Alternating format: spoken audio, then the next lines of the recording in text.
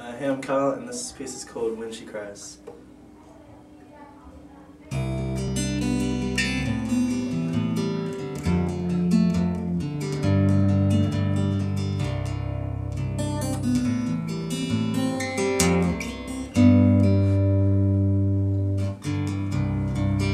Mm-hmm.